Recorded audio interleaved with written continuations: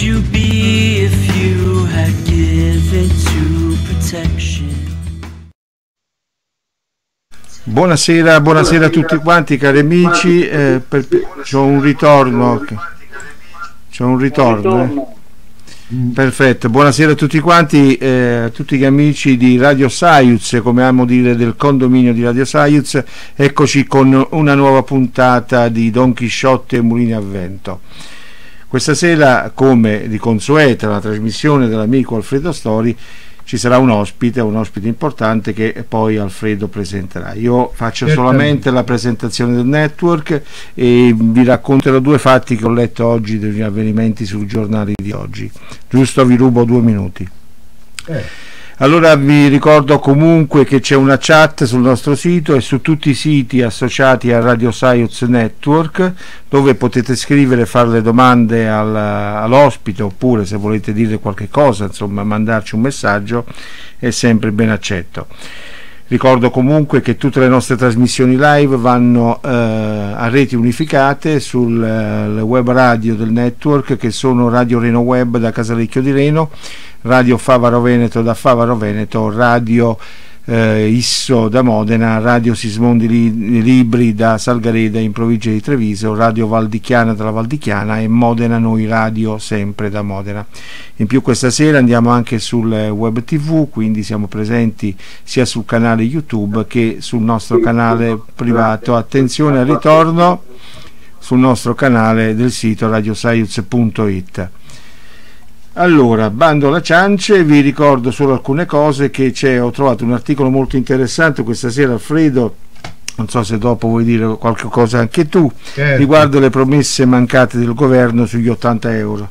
Insomma, mm. in poche parole da quello che ho letto nell'articolo che eh, ci sta un certo numero di cittadini italiani sono ben 341.000 che nel 2015 hanno dovuto rinunciare a questo beneficio perché sono scesi sotto la soglia degli 8.000 euro di reddito. In poche parole, più povero sei, meno diritti hai. Eh, e quando ci fu la denuncia del fatto quotidiano, il ministro Padova, non so se è ministro che cavolo fa al governo, quel tizio là, eh, disse cercheremo di alleviare la questione. Quindi questa è una delle due notizie. L'altra che è anche importante perché a livello internazionale l'esercito iracheno è entrato a Mosul, hanno preso la torre della TV, però l'ONU conferma che l'ISIS sta usando 25.000 civili come scudi umani, quindi facciamo un attimo attenzione perché da quelle parti stanno morendo più bambini, anziani e donne che militari, da quello che capisco. Da, da, diciamo, dalla, dalla, dalle notizie che ci danno. Poi c'è una denuncia dei sindaci per il terremoto che dicono che c'è troppa burocrazia e quindi lentezza, insomma serve troppo tempo per la messa in sicurezza, dicono. È un calvario, hanno detto, non finisce mai. Una nuova scossa di magnitudo 4.8 dicono ha fatto tremare il centro Italia. Accumuli è stati evacuati, Renze promette container entro Natale poi casette e ricostruzioni. Poche parole, si sta ripetendo eh, la soppopera di, di Berlusconi, anche sulle spalle dei poveri cristi che servono. A questo punto termino qui perché se no mi continuo a incavolare, io più leggo le notizie più mi arrabbio. Ti passo la palla, saluto il tuo ospite, che non dico il nome, dopo lo farai tu e saluto Ugo Lombardi della redazione di Bari. Ciao Ugo, buonasera a tutti quanti e buon proseguimento con eh, la trasmissione. Ok, partiamo.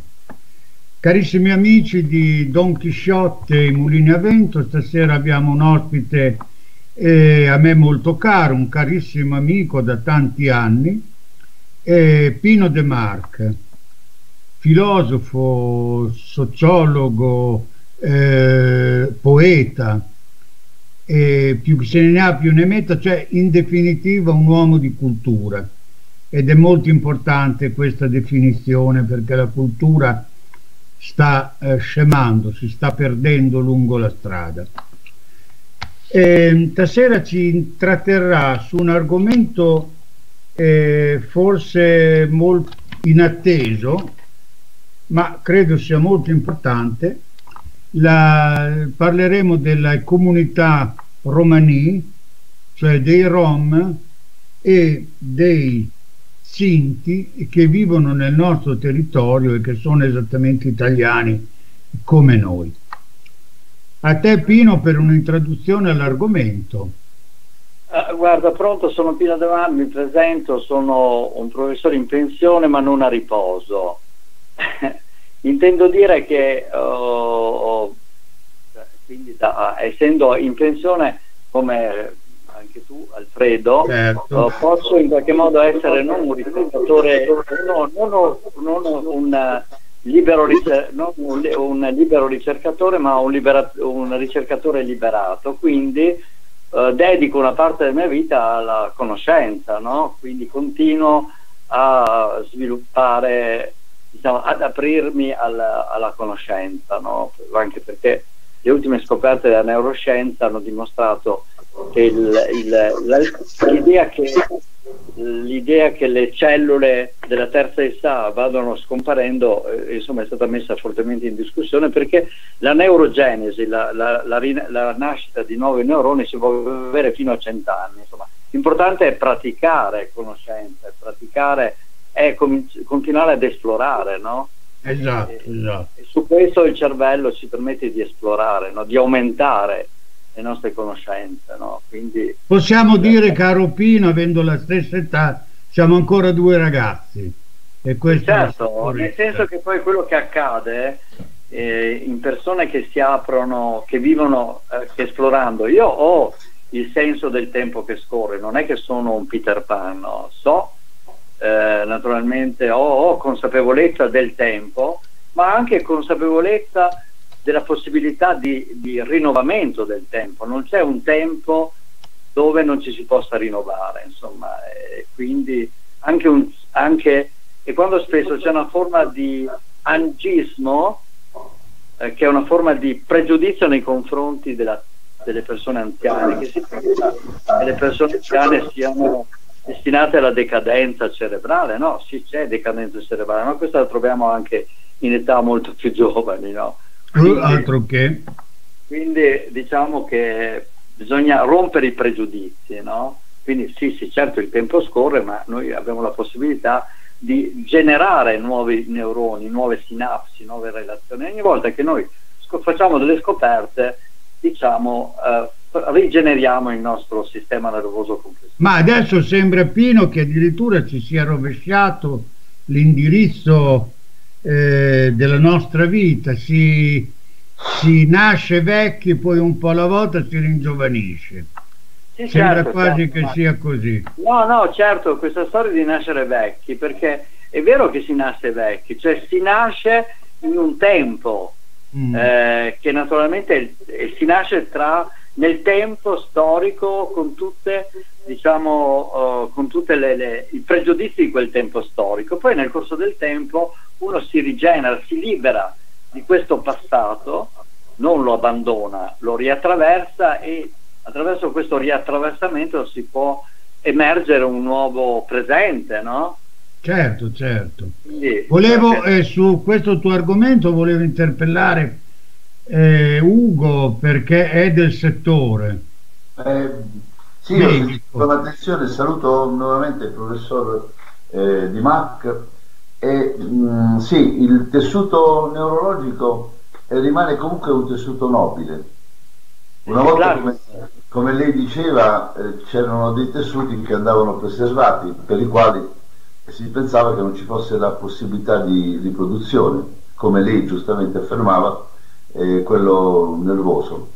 In realtà eh, le cellule nervose eh, sono cellule in grado di riprodursi, non solo, ma eh, quando parlate di, parliamo di vecchiaia, penso che si debba pensare non solo ad un processo di decadimento perché magari eh, il fisico e tutto quanto il resto invecchia, ma è anche vero che eh, diciamo, c'è una certa di, un certo rilassamento, forse eh, non solo c'è una, una, una, difficoltà irrorativa della parte cerebrale, ma c'è un certo rilassamento perché l'età adulta, diciamo, quasi tutti pensano che si debba un po' rallentare.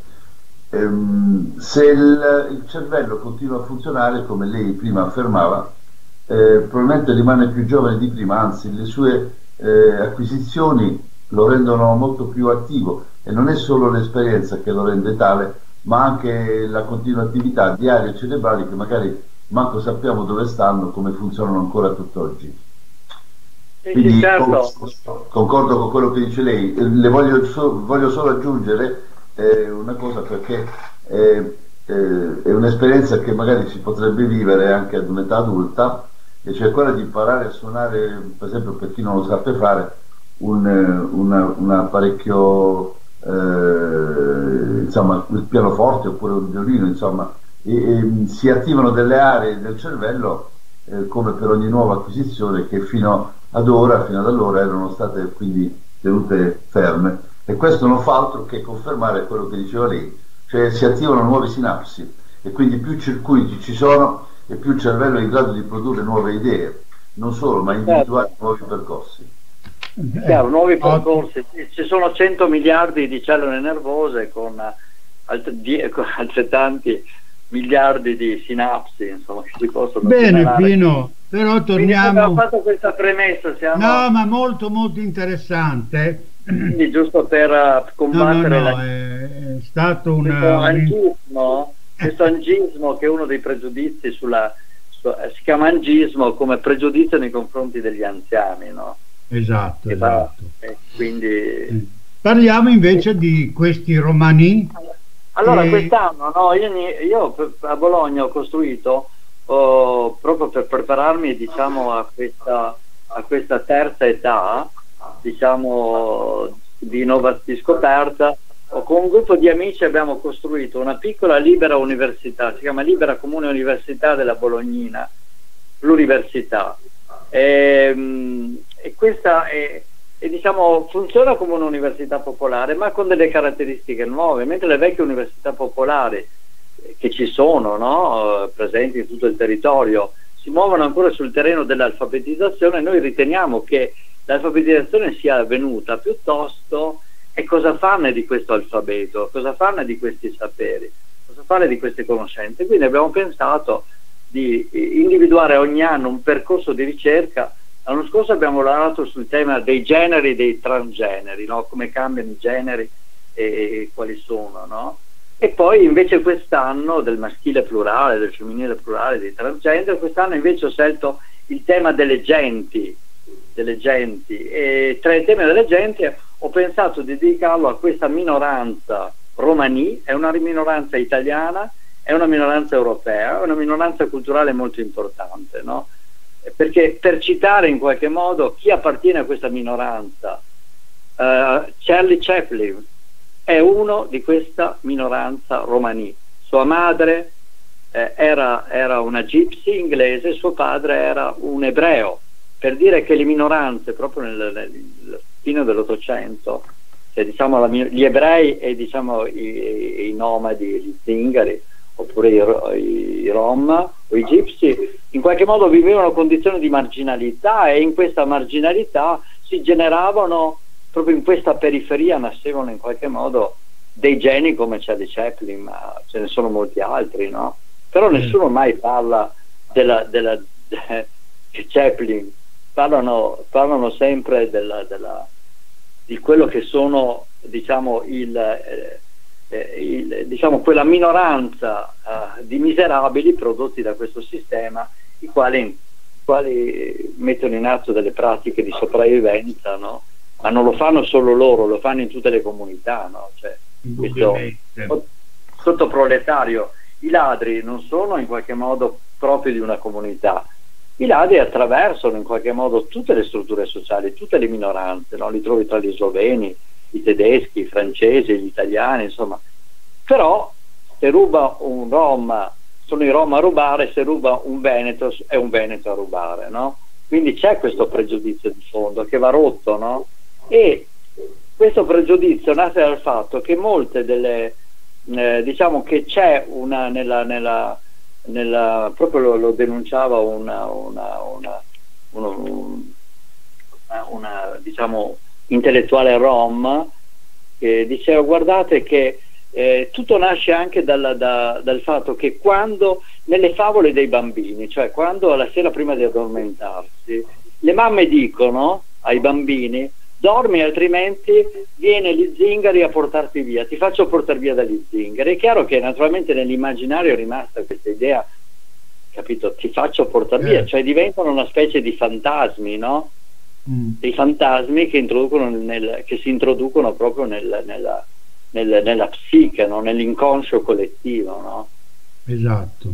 Eh, qui va rotto il pregiudizio, no? Cioè, quindi non è che adesso dobbiamo presentare romanticamente i Rom e i Sinti, no, i Rom e i Sinti sono in qualche modo eh, hanno le stesse contraddizioni che abbiamo noi, sono attraversati dalle stesse contraddizioni. Puoi trovare la, la, la, l'Orfei, i Togni, e puoi trovare naturalmente il, lo sbandato Rom, diciamo, della, della, della, di una, de, della loro comunità, no? Non so come dire, cioè non c'è... Cioè, Orfei è una famiglia uh, gitana, è una famiglia sinti italiana, quindi insomma è molto importante rompere questa specie di pregiudizio, no? cioè non, non present- o si presenta romanticamente, cioè in modo particolare come fossero dei zingaro, dammi la mano, dammi, dammi la mano, mano zingara.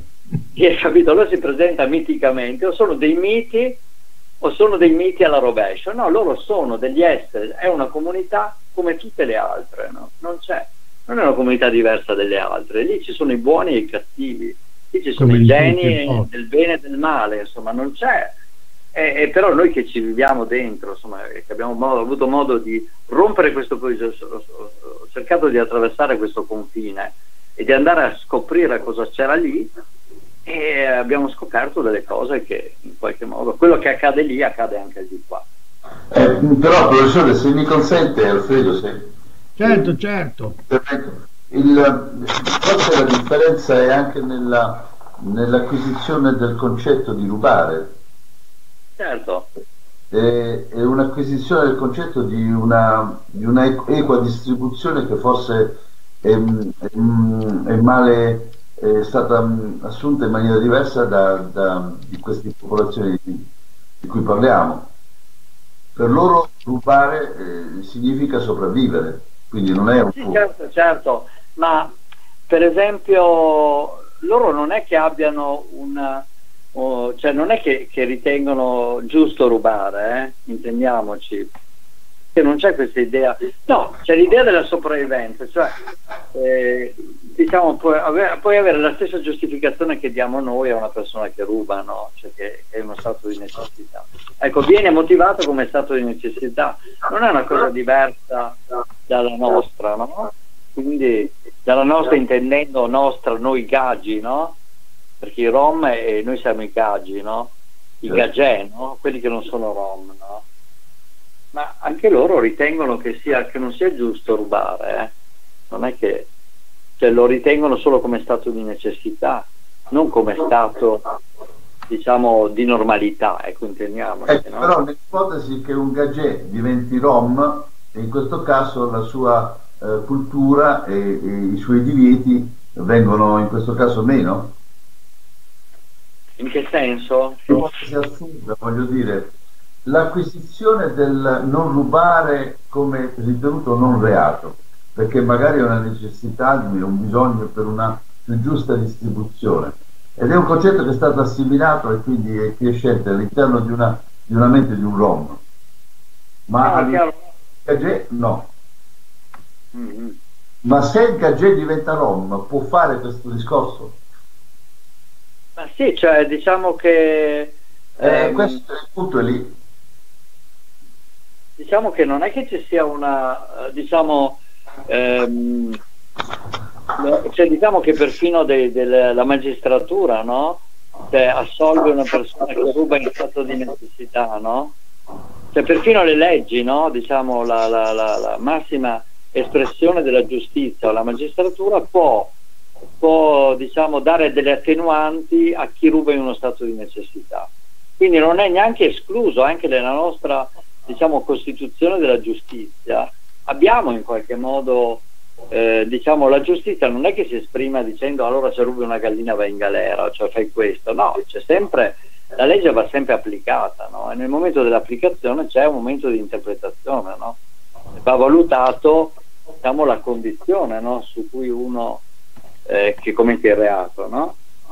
questo è evidente, no? però generalmente se noi vediamo all'interno per esempio eh, loro per, esempio eh, adesso vi racconto soltanto un fatto un giorno arriva eh, una ragazza a scuola racconta che a Bologna eh, sua mamma si è svegliata nella notte e c'era qualcuno in casa lei si è svegliata, ha acceso la luce e, e questa persona è saltato dal balcone rompendosi una gamba ecco, cioè diciamo che lì siamo in presenza eh, diciamo di, di, una, eh, di persone che non hanno, non sono, non, so, non hanno l'intenzione di eh, fare violenza, anzi fanno violenza a se stesso, no? cioè uno cade dal balcone per sottrarsi a una possibile di entrare in contatto con una persona quindi a, eh, che potrebbe arrecargli della violenza, no? Quindi c'è è un po' si potrebbe dire un po' come, come la differenza tra i gatti e le tigri, no? Cioè un gatto quando a questi miei studenti vedete i gatti quando la finestra è aperta entrano e rubano la bistecca o quello che c'è se ne vanno no? una tigre invece è ben diversa no? una tigre potremmo dire chi commette quelli che entrano in casa picchiano gli anziani come è successo lì siamo a dei fenomeni che sono di criminalità no? insomma anche per dire proprio per valutare nella, nella questa estrema condizione no, di necessità no? sono anche, certo. ci sono anche etiche diverse, no? Ma anche all'interno del, dello stesso gruppo, intanto Rom non so se si nasce o si diventa, ma anche all'interno dello stesso gruppo dei Rom non tutti fanno e si comportano alla stessa maniera. Sì, no, certo, certo, no, ma all'interno della, io adesso ne parlavo così, no, all'interno della comunità, guarda, la struttura sociale dei Rom non è diversa, è una struttura di classe, tu hai i circensi, i quali stessi sono degli imprenditori, i quali molto spesso utilizzano anche il, i loro parenti o i loro pa- appartenenti alla famiglia come lavoratori dipendenti, anche a volte sfruttandoli, no? Poi ci sono i giostrai, che è una classe più che quelli che sono quelli che noi, quelli che portano la festa nei paesi, no? Eh, quando arrivavano le giostre, arrivava il circo, arrivava la festa, la festa è arrivata, no? E poi diciamo giù c'è in qualche modo un 20% così di popolazione che non ha né arte né parte né mestiere e quindi eh, sopravvive come potrebbero essere quelli che non hanno né arte né parte tra, tra, tra quelli gagè, no? Esatto, esatto. e quindi come rapporto di vicinato allora, quello che, è una cosa no, importante. No, quello che è successo è che, che, la nostra università popolare è divisa in quattro dipartimenti, il dipartimento della terra, il fuoco, l'aria e l'acqua. Abbiamo scelto questo, questa quadripartizione per dare un po' il, il, rilievo che noi siamo ecologisti e che riteniamo che il, il rapporto con la natura sia molto importante, no? oltre che con la società e abbiamo la sede proprio alle, alla zona ortiva all'interno degli orti che è il numero via Erbosa 17 a Bologna e il campo Sinti è in via Erbosa 15 quindi noi siamo proprio confinanti abbiamo sempre avuto buoni rapporti tra la zona ortiva cioè gli orti del comune e il campo Sinti no? tra l'altro questi Sinti sono stati sono lì da vent'anni eh, sono stati messi in modo sono lì in modo, eh, diciamo, eh, erano in via provvisoria, poi sono 25 anni che stanno in uno stato provvisorio ed è la famiglia Bellinati, no? sono eh, quella famiglia eh, di cui hanno avuto due vittime della Uno Bianca, no?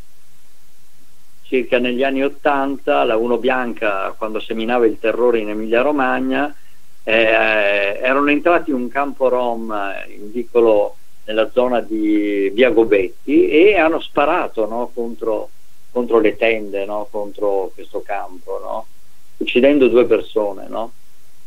Poi questi, di fronte a questo terrore della Uno Bianca, sono scappati a Modena e il sindaco di allora di Bologna, che mi pare fosse in beni, li ha chiamati e gli ha dato quello spazio. Cioè gli ha donato quello spazio in via provvisoria in attesa di darle un'area diversa. Quindi noi, io ho deciso, allora che cosa è successo? Che durante la campagna elettorale Salvini è venuto a Bologna e la prima cosa che ha fatto, eh, lui e la, e la, sua candidata che è la Borgonzoni, hanno subito attivato un programma nei loro confronti, non sono arrivati lì e hanno proprio in modo, cioè, di, cioè indicandoli come fossero i nemici pubblici, i nemici della società, no? con il loro sempre modo no, di individuare nelle, nel, nei margini, no? il, il, c'è la guerra tra poveri, no? Cioè loro vivono della guerra tra poveri cristi e poveri diavoli. Hanno cominciato con i meridionali, poi con eh, gli albanesi, i rumeni, insomma loro no, no, cioè, attivano continuamente de, delle guerre tra poveri, ma non fanno la guerra alla povertà, non fanno la guerra alla miseria, non fanno la guerra diciamo all'ignoranza, perché quella è la guerra che bisogna condurre, no? non la guerra contro i miserabili. No? Quindi questa è un po' la differenza. E quindi io, di fronte a questa guerra, ho cercato come Università Popolare di aprire un dialogo, ho attraversato questa siepe di confine e ho cercato all'interno del campo un interlocutore e ho trovato come interlocutore Thomas che è un pastore evangelico, Sinti che abita lì dentro e noi due insieme abbiamo costruito questa con, prima contrada solidale Rom Sinti a Bologna estendendola un po' a tutta la città no? E poi eh, sono diciamo da questa relazione che è nata mh, abbiamo stiamo facendo anche delle trasmissioni a Radio Città del Capo parlando di questo e, e per di più quest'anno ho attivato un corso di formazione un corso di formazione per gli insegnanti della scuola primaria e del secondario e tutto il personale della scuola con l'MCE, il Movimento di Cooperazione Educativa e col CESP, che è il Centro Studi. E da quest'anno avremo un corso di formazione sulla cultura romani, cioè di far capire che questa cultura romani ha influenzato tutto l'immaginario occidentale, no? perché tutta la storia delle arti, dello spettacolo, no? il circo e tutte le narrazioni, la, la, pensate alla Carme di Bizet, no? la Carme è chi era se non una, una, una zingara, no? pensate, pensate, a Vittor Hugo, no? il, il, il, gobbo di Notre Dame? Eh, sì, ce n'è una quantità infinita, vi posso citare all'infinito, no? come, come la cultura eh, rom, eh, ro, romani ha influenzato la cultura occidentale, no?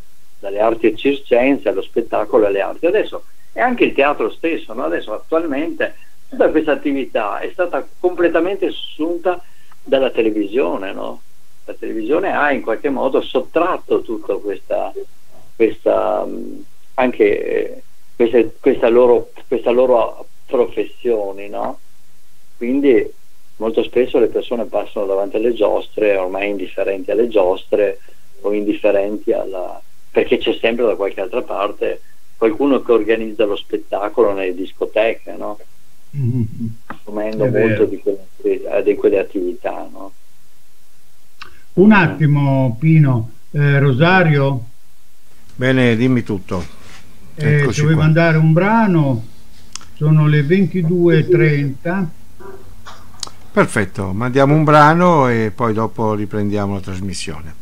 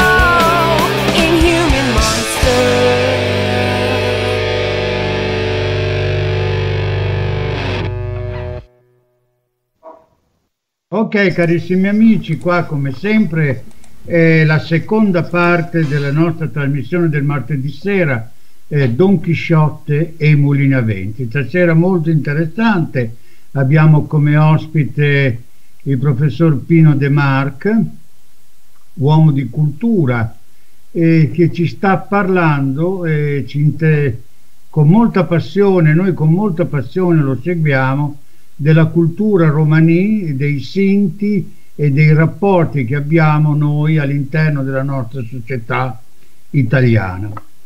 Eh, ecco caro... Dimmi sì, Pino. No, no, no, finisci, pensavo avessi finito, scusa.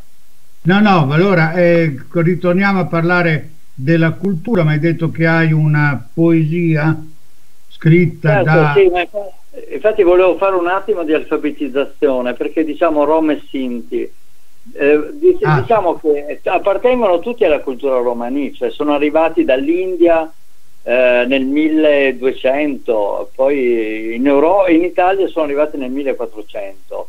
La prima, la prima comunità si è stabilita lì vicino a Bologna a 100, intorno al 1400, no? E tra l'altro... Oh, venivano chiamati con diversi nomi, egiziani, eh, anche bohemien. Perché venivano chiamati bohemien? Venivano chiamati perché avevano un salvacondotto di un re Carlo di Boemia, il quale gli aveva dato un salvacondotta per, per viaggiare in Europa. Loro spesso viaggiavano in Europa per andare verso Roma, no? che era diciamo per loro la capitale e spirituale, no? Mm. del mondo romani, loro sono cristiani, cattolici, no? quindi si muovevano verso Roma come perché sono i punti di attrazione la Mecca, Gerusalemme e Roma, no? quindi Roma certo. era una forte punto di... e la parola per dire bohemien si indicava tutte queste persone che erano stravaganti, no? quindi erano artisti, musicisti, violinisti, ballerini, eh, circensi, no? Perché hanno fatto molto spesso queste, la loro attività prevalenti erano quelle, oltre a fare i calderari, oltre a fare i, gustare le caldare, le, le, le, le pentole no? di rame, sì, sì. quindi i cesti, insomma i mestoli, no? quindi i, i commercianti di cavalli, no? cavalli che scambiavano con le popolazioni sedentarie. No?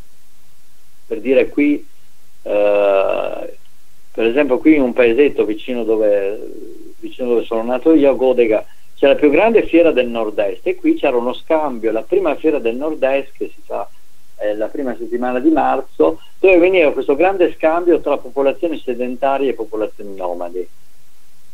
E, ed è una fiera che da 400 anni adesso insomma, non ha più questo incontro, ma è più diventata una fiera della motorizzazione che dei cavalli. No? E allora venivano, si vengono chiamati Rom, quelli del sud Italia, gli abruzzesi sono Rom, mentre quelli del nord Italia tedeschi sono Romani, come quelli francesi, gli inglesi sono Gypsy, i Calecchi sono quelli francesi, e i Mapuche quelli francesi, eccetera, eccetera. Quindi indipendentemente dai luoghi, ma sono tutti romani. Quando si incontrano, parlano questa lingua romani che viene trasmessa, che è una, è una lingua che è molto simile a, a qualcosa tra una lingua tra indo-pakistana, ecco, perché vengono da lì. Infatti eh, il, primo, il primo studioso di questa lingua scoprì attraverso un collega che parlava indiano che questa lingua gli assomigliava. No? Adesso vi voglio parlare di questa parabola di questa Papuzza. Papuzza è una poeta, è una, è una poeta polacca. Eh.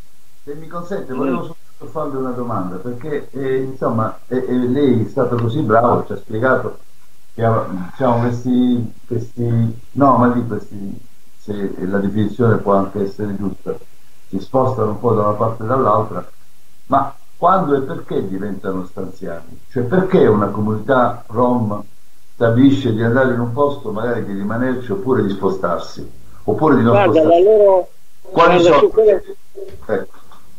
Loro di- di- diciamo che la, la- diciamo, non è che i Rom sono per sua natura nomadi, eh? lo diventano, no? Perché vengono, diciamo, cacciati, no? Dai luoghi, perché come tutte le minoranze, abbiamo visto con la minoranza ebraica, tutte le minoranze sono in qualche modo soggette a delle vere e proprie pregiudizi, ma anche sulle minoranze si scatenano poi tutte le colpe, no? Diciamo, quando facciamo un esempio, siccome loro si muovevano, si spostavano normalmente, quando in un luogo scoppiava la peste, chi accusavano? Accusavano i, i zingari, no? Sì, ma, Di essere portatori della peste, no? Quindi, ma loro sono la eh, minoranza, mi, mi la devo interrompere perché credo che anche gli ascoltatori qualcuno si ponga questa domanda. Ma eh, perché non si integrano? No, non è che non si integrano, cioè diciamo che piuttosto c'è un tentativo da parte delle, delle- delle- soprattutto nell'epoca diciamo, del- della nascita degli stati-nazione, no? c'è un tentativo di assimilazione, no? cioè li vogliono assimilare. No?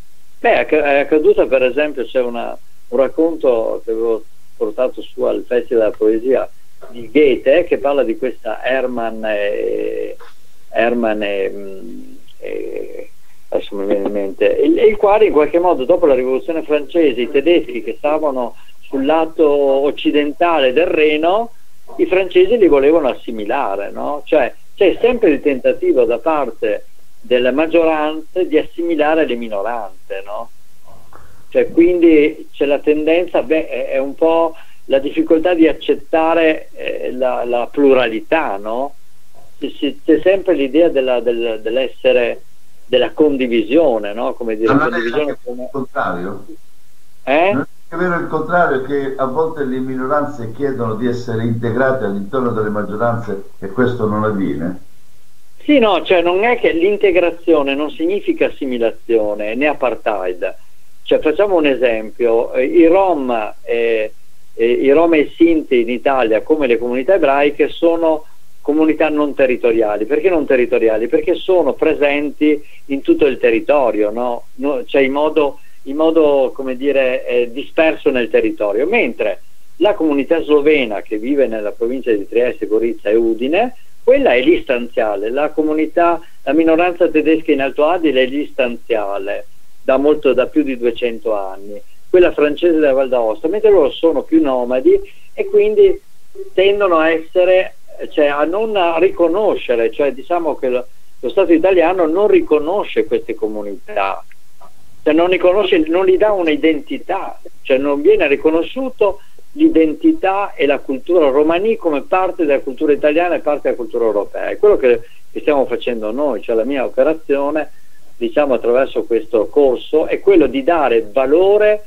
alla cultura romani, perché è una, è una delle culture a- assieme a quella ebraica, assieme a quella slovena, assieme a quella italiana e tante altre, sono culture no? che appartengono a questo paese, come quella sarda, no? friulana, no? Certo. e quindi non devono essere assimilate, devono essere perché l'integrazione vuol dire che tutti devono parlare italiano. Loro parlano perfettamente italiano, i rom eh, italiani come i sinti italiani, i tedeschi parlano perfettamente tedesco perché frequentano le scuole primarie, ma loro vorrebbero che questa cultura fosse riconosciuta, cioè eh, che in qualche modo quando uno dice sono un rom, la prima cosa che dice allora pensa subito che è uno zingaro, cioè pensa subito che è uno priva di forme di vita, che non ha cultura, capisce? Cioè, perché quando uno dice zingaro, è una- e quello che, voglio fare, che vogliamo fare noi è smettere a queste persone di essere dei zingari per diventare dei rom, far diventare gli zingari dei rom, cioè che possono in qualche modo rivendicare la loro identità no? e la loro cultura e che questa cultura va- deve essere rispettata, no? perché è una cultura antica. No? Ma questo, questo gruppo di Rom, prof- professore, secondo lei è in fase di, parlo dal punto di vista numerico, è in fase di crescita o di decrescita? No, no, in fase di più o meno mantiene, sono circa 800.000 in Italia, gli italiani rom e sinti sono 800.000. Attualmente, per esempio, come dicevo, nel centro Italia da parte dell'amministrazione del centro Italia c'è una maggiore attenzione nei loro confronti. Lo stesso ha fatto anche la, il comune di Venezia, eh? E soprattutto Cacciari quando ha creato quel villaggio ai margini lì di Mestre, no? in cui cercando di dare loro una, una casa, no? e quindi loro non è che rifiutano la casa, perché chi è che rifiuterebbe la casa, no? Cioè, non rifiutano la casa, anzi Cacciari aveva fatto questo villaggio nei pressi di Mestre e ha chiesto alle famiglie sinte lì una cosa importante, noi vi, vi diamo una casa popolare, sono delle case, credo che siano case, case di pietra, no? questo villaggio, però in cambio voi promettete di mandare i figli a scuola, no? E i figli vanno a scuola, no? Lì nella provincia di Venezia, perché conosco degli insegnanti che seguono questa esperienza, no? Quindi eh, allora, no, vi leggo mi veniva in mente un fenomeno che insomma la natura ci insegna, la transumanza. E quindi eh, transumanza, sì.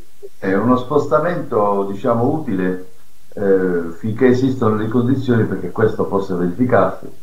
E poi un ritorno alla, al posto di provenienza, soltanto che loro non hanno un proprio territorio, loro sono un gruppo di persone che si spostano ma non hanno un, un territorio loro Certo, loro, non hanno un territorio loro, ecco, questo è il problema. Il piano, insomma, eh, quello storico, quello lontano nel tempo, e quindi mm. è, è, una ricerca di un territorio, oltre che di cultura.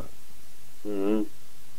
Beh sì, certo, per esempio le attività che facevano sono attività circense e di giostrai e quindi o di cavalli non potevano essere fermi, no? Dovevano spostarsi continuamente di paese in paese, no? a tal punto io, che gli... io, io, io, diciamo in questa eh, chiedo diciamo sto diciamo prendendo un po' forse vivace questo eh, e, le chiedo scusa se la interrompo perché eh, i dubbi che mi vengono noi qui abbiamo un campo rom è stato eh, istituito un campo rom con alcune cose essenziali l'acqua eccetera la luce ma credo che non sia nemmeno dignitoso non solo per chi riceve questo aiuto ma soprattutto per chi lo dà fornirlo in, queste, in questi termini. Eh, certo, ma in qualche modo l'Europa ha fatto una critica agli italiani che questi processi di segregazione, perché questi campi rom che vengono costruiti eh, vengono costruiti perché c'è un forte pregiudizio da parte anche degli stessi italiani. Gli italiani non accettano che questi abitano delle case popolari, no? Ha capito? C'è anche se tu dici do, ca- do le case, non so, ai rom popolari, è come dire sia uno straniero, ma in realtà loro sono italiani, no? Capisce come dire? Cioè, sono gli stessi certo. italiani che, imped- certo. che, non, che non accettano che questi si integrino, che non accettano che questi possono vivere accanto a te, no? Perché ne temi, temi questo pregiudizio che ti, è, che ti, ti invade, no? Certo. Ma in Germania, per esempio, in Germania non vivono nei campi, per esempio, si sa benissimo che attorno ai campi, come abbiamo visto a Roma, attorno ai campi eh, diciamo, eh, si creano delle vere e proprie mafie, no? ma ci sono non dei buoni samaritani, ma dei samaritani criminali, cioè sono, sono persone che svolgono l'attività samaritana ma nel senso rovesciato, no? alimentando speculazioni sulla vita di queste persone, no? al posto di Insomma, pensate che sono stati destinati dalla comunità europea un miliardo di euro per i campi in Italia. Di questi un miliardo di euro, questi poveri rom non ne hanno visto una lira, sono finite tutte in questo mondo, diciamo, sommerso del, tra virgolette, dei samaritani mafiosi, ecco, perché poi non c'è nulla da dire, no? quindi sarebbe meglio questi miliardi l'avessero destinati a creare delle case, dei villaggi le cose sarebbero diverse, no? Avremmo, in Germania non abitano, abitano in villaggi, no? Le case popolari vengono fatte delle case per loro, no? Anche a Faenza, per esempio, a Faenza recentemente si è cominciato a inserire queste persone da un campo all'interno, diciamo, del territorio, no? Accompagnandoli all'inizio li si dà la casa, li si aiuta e poi li si accompagna verso l'autonomia, no? cioè perché l'unica fonte di autonomia è la scolarizzazione e il lavoro. Questo lo sanno benissimo anche loro, no? non l'assistenza. Cioè coloro che fanno assistenza vogliono tenere queste persone in uno stato di, eh, diciamo, di sudditanza e in qualche modo li servono soltanto come pacchetti elettorali per le elezioni. No? L'assistenzialismo è in qualche modo il peggior nemico della, della, della, dell'integrazione, no? e anzi è la disintegrazione, capito? Ma allora questo, modo, questo modo di comportarsi si può anche eh, visualizzare all'interno dell'immigrazione. Certo, certo. Sì, perché bisogna rompere questa forma di pietismo, non bisogna esatto, avere pietà esatto, nei confronti esatto. di nessuno, non bisogna avere pietà, cioè se una persona, diciamo io vedo qualcuno nella miseria, non ho pietà di lui e gli do l'elemosina, capito? Oppure, come diceva una volta l'abate Franzoni, la Chiesa si è sempre occupata dei poveri, ma li ha sempre lasciati poveri perché esatto. la povertà è una fonte di sopravvivenza della stessa diciamo religione sbagliata capito? del potere in linea generale del potere, no? avere un potere su di loro cioè quindi non bisogna dare assistenza ma bisogna creare le condizioni dell'autonomia quando dicevo che noi siamo molto contenti che nella provincia di Bologna sempre più persone dei campi riescono a frequentare la scuola primaria la scuola eh, media e la scuola superiore abbiamo sempre più gente dei campi eh, Sinti e Roma a scuola, noi siamo molto contenti perché questi poi attraverso questa scolarizzazione possono anche cominciare ad avere una propria autonomia, vanno accompagnati verso l'autonomia, non verso l'assistenza, perché l'assistenza serve soltanto ai samaritani mafiosi, non ai buoni samaritani. I buoni samaritani eh, aiutano le persone a portare la, diciamo, uh, verso l'autonomia, no? Un vero, mm. se vuoi far bene a qualcuno, devi farlo diventare autonomo, no? Aiutare a che diventino autonomi, non sudditi, no?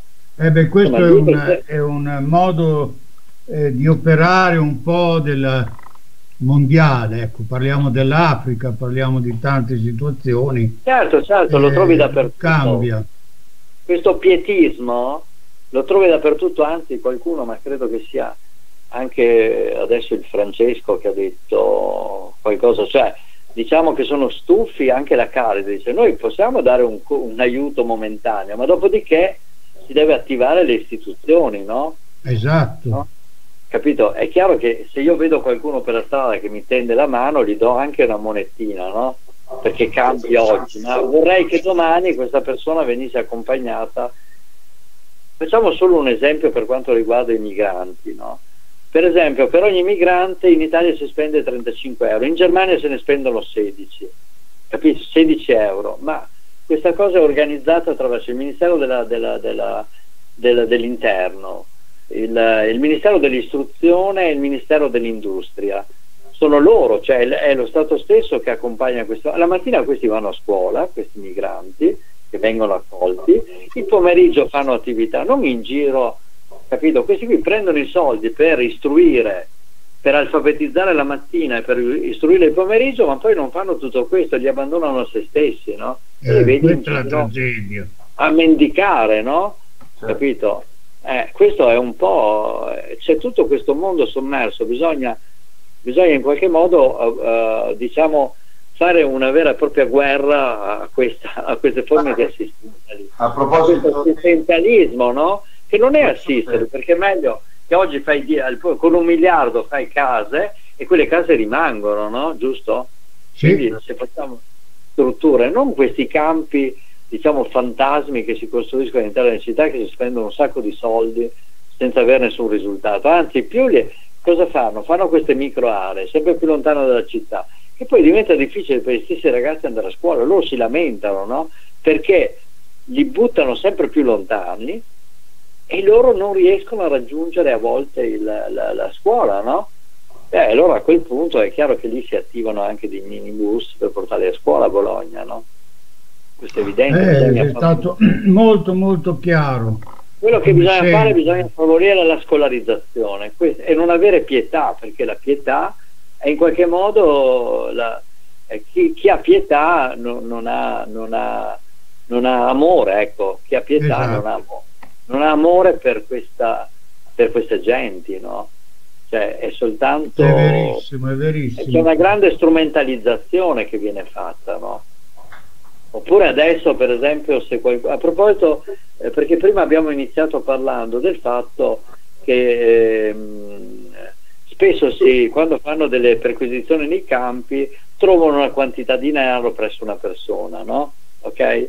Allora dobbiamo sapere che lì adesso negli Stati Uniti era in corso un processo ed è stato vinto da loro per quale ragione? Perché eh, loro i soldi, questi qua, non li mettono in banca, ma li affidano il loro capo, che sarebbe come il loro sindaco, no? Il loro banchiere, no? è in qualche modo la persona più saggia della comunità che tiene questo denaro e lo amministra per tutti. Quindi, diciamo, spesso si, si trova qualcuno con un sacco di denaro e dice ecco qua, deve, da dove viene tutto questo denaro? No, quel denaro lì è il denaro di quella comunità lì, di quel gruppo. Questo no? è un punto, un punto, da chiarire molto bene. Eh, c'è un punto perché... da chiarire perché, perché loro, per esempio, guarda, gli leggo adesso questo pezzo per dirti di questo processo, mm, ecco, perché era una riserva, diciamo qui, ehm, non mi è sembra, eh, eccolo qua, a proposito del mito delle montagne d'oro, si aggancia a Metz, che è uno di questi racconti. Ho visto da poco un documentario su K-Tel, parlava di un gruppo di Rom che vivevano assimilati alla periferia di una grande città americana campavano vendendo i piccoli oggetti fatti a mano. La loro attività rendeva bene e nonostante vivessero in case moderne, conducendo una vita simile a quella dei Gangi di noi, portavano tutti gli introiti della vendita a casa del loro capo. La famiglia del leader nascondeva in casa il patrimonio accumulato di generazione in generazione, ma quando la polizia l'ha saputo, ha fatto incursione nell'abitazione e ha sequestrato tutto. Da lì è iniziato un processo penale a carico di questo uomo, del loro leader. Il documentario di produzione americana mostra come in quella che vuole essere la più grande democrazia del mondo in realtà non ci sia libertà. Il processo è durato un decennio a cavallo tra gli anni 80 e 90 e ha fatto molto rumore. Parecchi avvocati hanno partecipato volontariamente per difendere la verità, ovvero che quel patrimonio non apparteneva a quell'uomo, che lo custodiva bensì dall'intera comunità e che era ecco. frutto dell'accumulo di guadagni onesti di centinaia di uomini e donne sparsi in città che facevano riferimento a lui. I Rom durante il processo hanno dichiarato di non approvare le leggi americane, ma di non volerle neanche contrastare, semplicemente non si fidavano di portare tutta la loro fortuna in una banca o in un'istituzione che non fosse espressione della loro comunità. Alla fine il processo del processo il patrimonio è stato restituito alla comunità e a quel punto sono stati i Rom a cui la legge aveva dato ragione a denunciare la polizia per le ingiustizie, le accuse, i maltrattamenti e le umiliazioni subite. Questo secondo processo ancora non ha avuto termine a quello che io ho capito da tutta questa storia è che i grandi sistemi statali alla fine non funzionano, non riescono a rinunciare alla tentazione della prepotenza. Questo è documentario recentemente americano della K. Molto no? interessante. Per dire, è no? è un po' come se andassero in banca, ma i soldi eh, non sono della banca. Non solo della banca, capisci? Perché in realtà si affidano, sono proprio grandi famiglie loro, no? Sono certo. tribù, no? Capito? Che si accumulano come eh, all'interno delle associazioni. Per esempio io e Alfredo abbiamo fatto parte dell'associazione. Alla fine i soldi raccolti chi li tiene? Li tiene sempre un castiere, no? Certo. che è un po' quello dell'associazione, quello che, di cui ti fidi di più, no? Esatto, esatto, di... ma è così, la, la, le strutture sociali sono così. Ecco, una domanda volevo farti perché l'argomento è talmente interessante che sarebbe molto bello poterlo integrare. Esiste una bibliografia su questi argomenti, sui romani? Sì, sì, c'è. Allora c'è per esempio Adesso è uscito un libro recentemente della Confini Diamanti dell'Ombre Corte, che tra l'altro è una, una, una, piccola casa editrice di Verona, che si chiama È, è il viaggio ai margini dell'Europa, ospiti dei Rom. E praticamente parla di questi due, di questi due attori, eh, di questi due attori di teatro che hanno vissuto praticamente a Sutka, a Sutka vicino, che è un sobborgo di Skopje, che è l'unico sobborgo in, in, nel mondo autogovernato da un sindaco romani, romanes. E eh, questo libro si chiama Confini, è lui che ha vissuto, questi due hanno vissuto per due anni a Skopje, in questo sobborgo di Sutka, hanno affidato, dopo due anni, hanno affidato il loro figlio a una baglia rom e in realtà in questa conversazione dice guarda, dicono sempre che i bambini, che rubano i bambini, ma noi abbiamo lasciato il nostro figlio di pochi mesi in mano a questa baglia rom, no? Si chiama Confini di Diamanti e poi c'è questo Isabel Fonseca, no? Seppellitemi in piedi, no?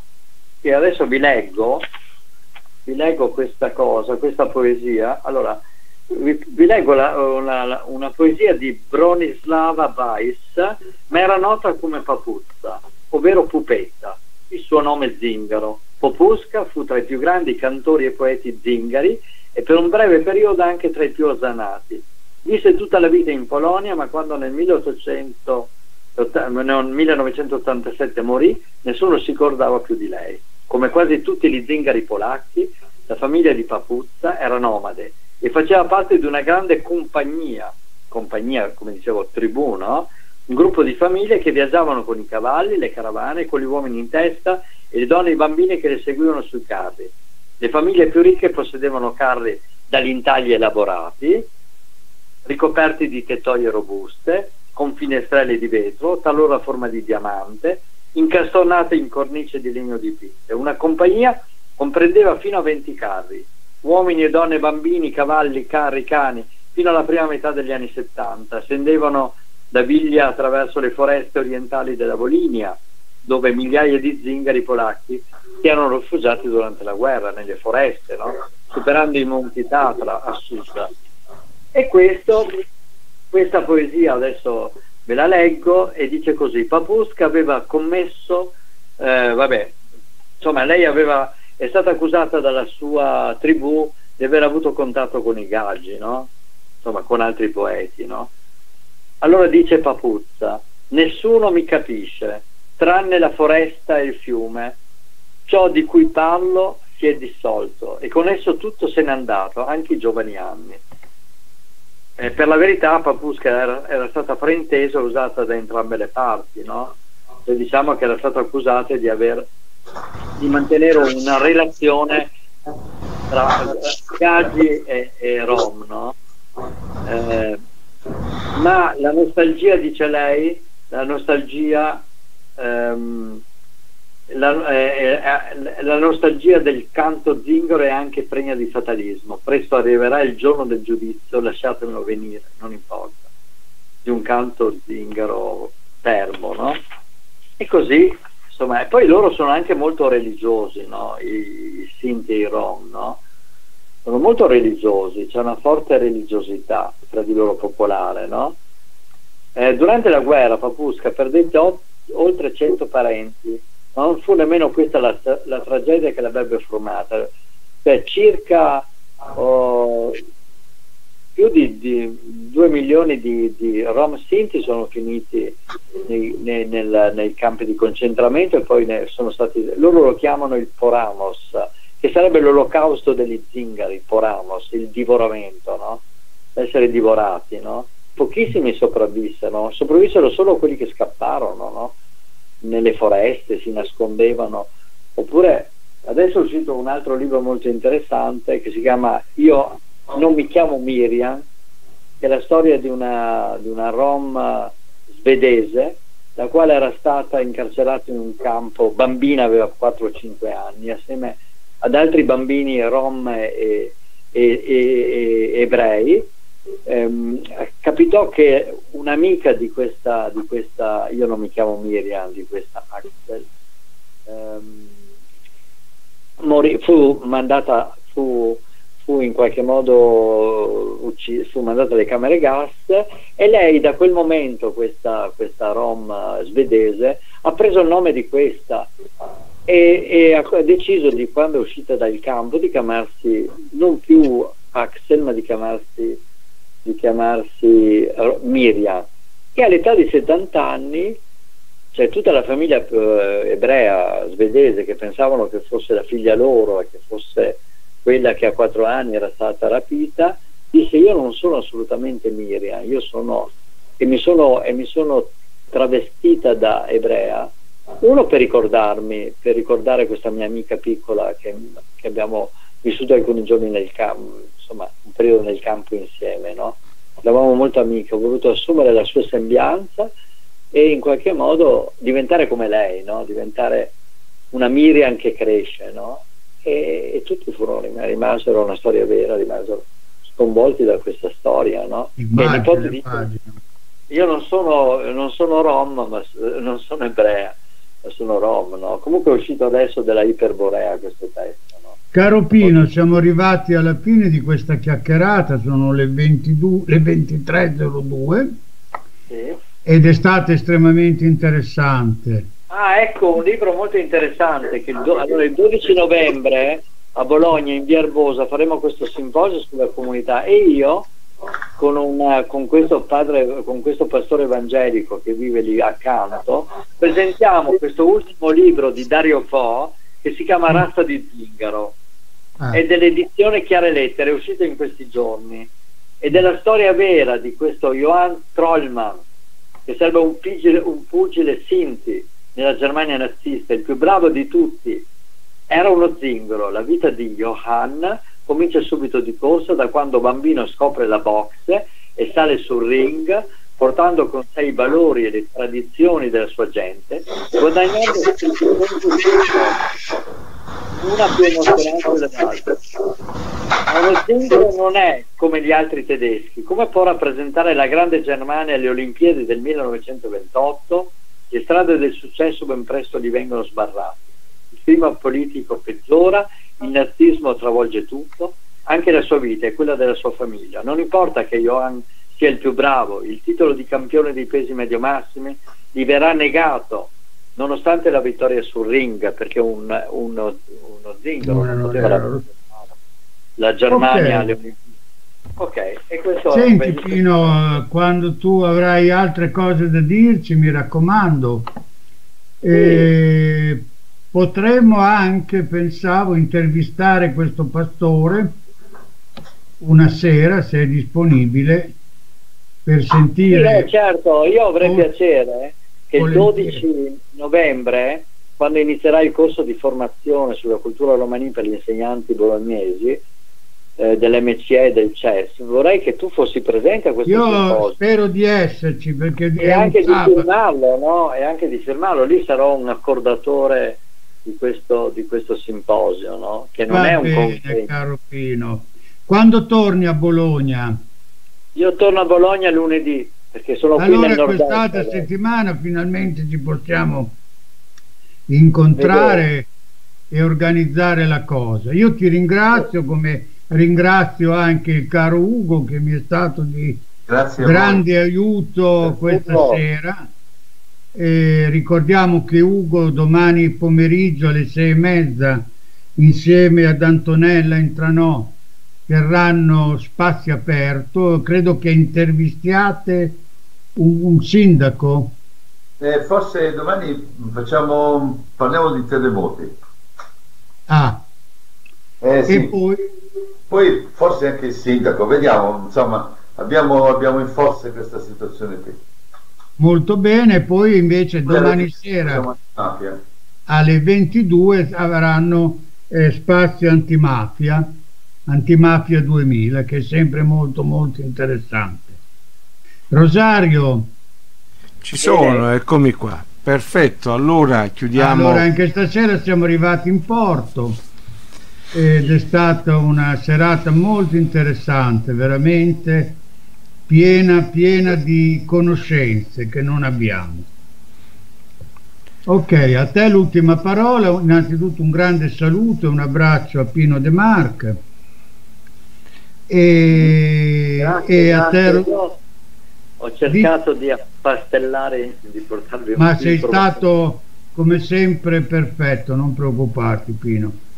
E, e, a te Rosario per la chiusura della, del programma.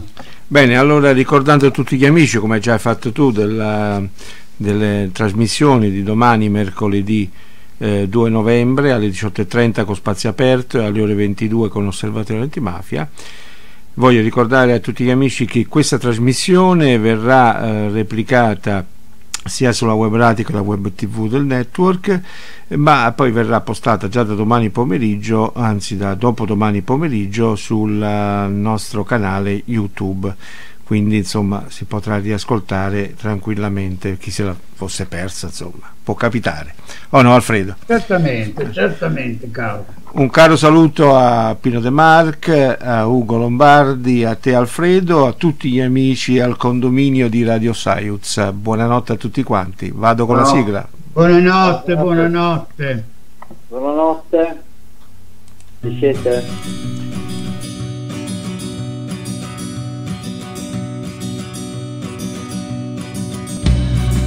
where'd you be if you had given to protection?